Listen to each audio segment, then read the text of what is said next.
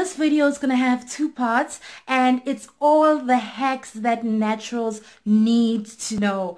Everything you need to know. Those hacks that are just so important.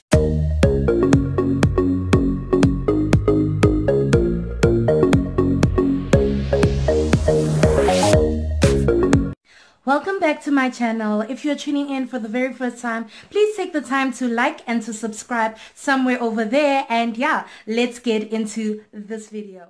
When you do hydrate your hair, guys, um, usually, obviously, you spray um, your hair with some water. Another trick that you can actually do is add some essential oil drops. This is tea tree oil um, but you guys can add more lavender. You can most definitely add into your, your water and this um, helps um, your scalp and some um, essential oils help your, uh, your hair grow. So you are hydrating and you're adding nutrients to your hair. So be smart about this. To lay your edges with your Eco Styler Gel or anything, you need to use an old toothbrush. That's how I achieved my, my edges. That's how you do it. Just use an old toothbrush. No naturals, one thing we have to try and save money where we can because stuff are very expensive and yeah. Um, so I'm going to show you how you can actually make your own leave-in conditioner. Firstly, you take your normal conditioner just the conditioner that you use and your spray bottle and you add some water into it. So you if you are gonna add let's say two teaspoons of um, your conditioner then you're gonna have to add four teaspoons of water. And then that's how you make your own leave-in conditioner. Then it's simple. You've saved money and you don't have to be buying all these products. Something that you must do as well is to massage your scalp.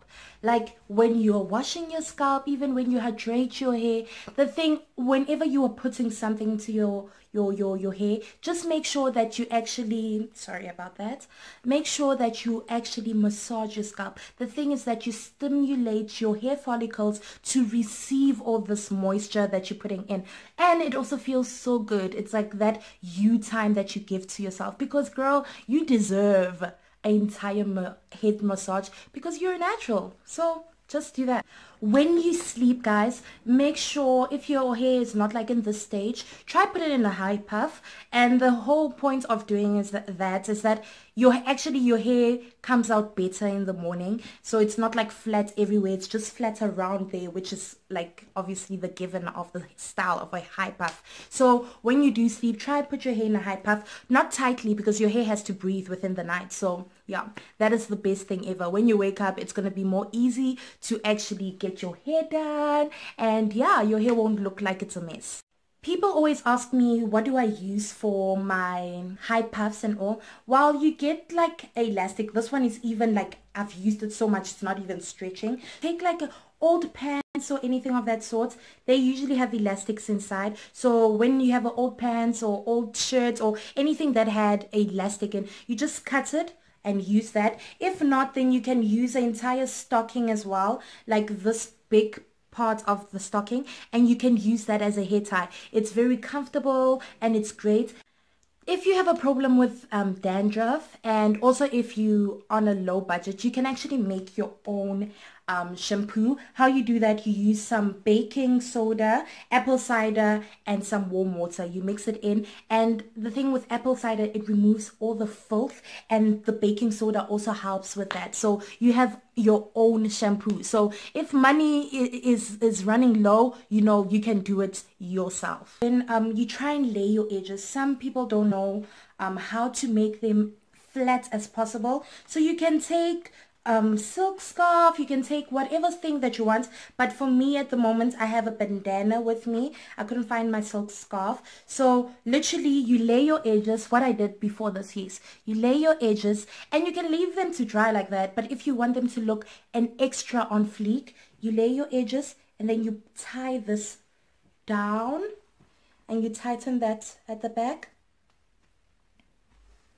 make it tight and if let's say you're gelling your entire hair what you do then you take an entire duke So you take that and then you wrap this around. So you, you protect your edges. Leave it for an hour before. If you if you don't have time, you can say 30 minutes.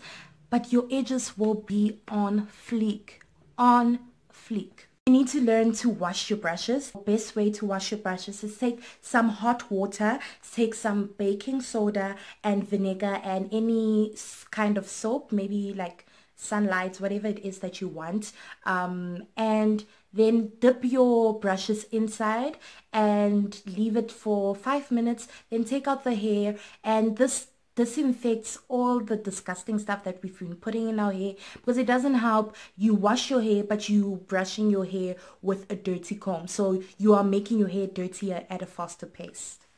So a trick that I actually have learned now what you do is take a hairband. Oh, hairstyle.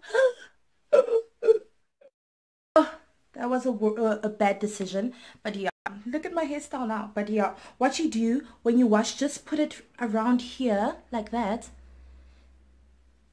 And then when you washing your hair and it soaks uh, it's, it's the water's gonna fall it's gonna fall onto a band and it's not in your eyes. You need a really good detangling brush. Because what a detangling brush does besides detangling it defines your curls. Like you'll be just combing through and it just you can already see that every single hair,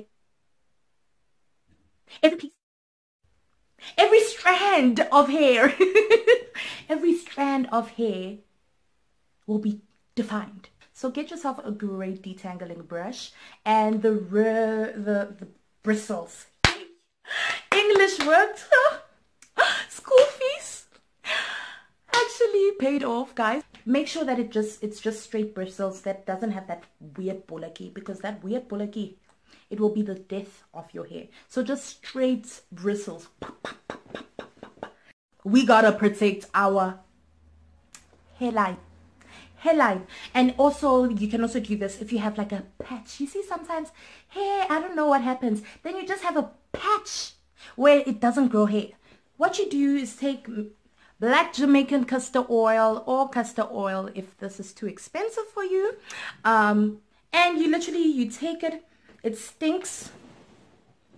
And you can get like a tooth, your toothbrush, and then you can just do this, soak it in a bit, and then you moisturize. You, my edges are done, so I'm not gonna ruin my edges. But then you literally moisturize. Let me just do it there. So you take the oil, then do that. You can do that every night, and your your your hairline will never go missing. You won't have to play, where is my hairline? Find my hairline. Where is my hairline? You won't have to play that game if you do this. And also on that patch, just dab it, dab it every night.